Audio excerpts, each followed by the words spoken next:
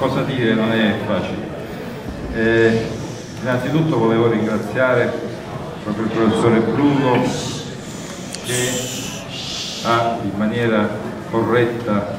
reale con tutti e molto efficiente ha condotto questa campagna elettorale e anche le votazioni di oggi. Veramente grazie di cuore al professore Bruno.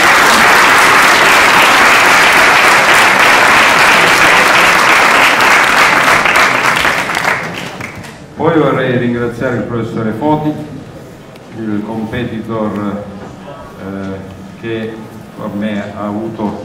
una competizione appunto molto leale e correttissima, quindi devo dire lo ringrazio anche perché anche lui come me ha mostrato interesse per le sorti del nostro torneo.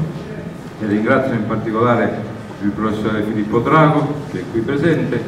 che mi ha fatto anche mi ha dato anche il piacere di venire qui con me, proprio a testimonianza di un'antica amicizia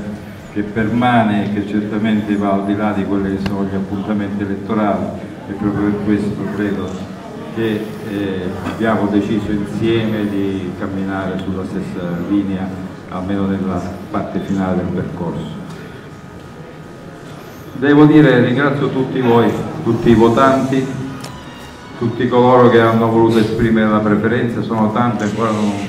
neanche visto quanto sono, ma insomma sono tantissime e devo dire al di là delle più rose aspettative per quanto mi riguarda almeno.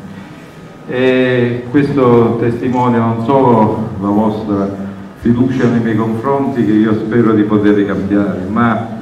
eh, mi carica di un grosso senso di responsabilità, di un grosso peso di responsabilità che spero di riuscire a sopportare bene, insomma, e, e spero di poter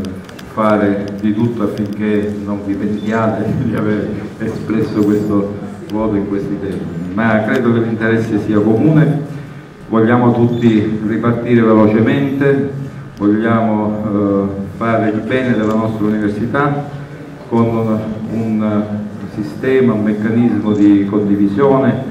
di partecipazione, eh, di trasparenza, di meritocrazia, che sono concetti che spesso ci sentiamo dire o diciamo, ma che a volte è difficile mettere in pratica, ma io metterò tutto me stesso per poterli mettere in pratica in maniera concreta e reale.